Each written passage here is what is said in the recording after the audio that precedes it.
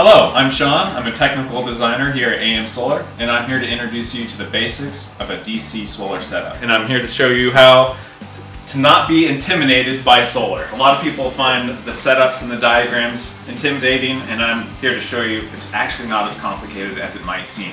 So here's the essential uh, parts of the system. Um, we'll start with the solar panel. So you can have one panel, you can have 20 panels, uh, however many are going to fit on your vehicle. But all of the solar power is going to come into the panels, and however many panels you have, they're all going to feed into a roof combiner box. And the roof combiner box is then going to take all the power from the panels and feed it into what's called a charge controller.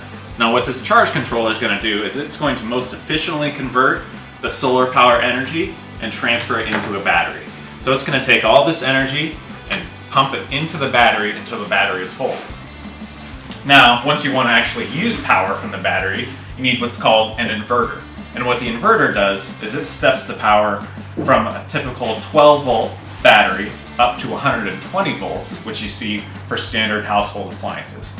So what you can basically do then is connect the battery to the inverter and then plug in any household appliance into the inverter and it will be drawing energy out of the power out, excuse me, out of the battery that was provided by the solar power. So as you can see, it's a pretty simple system.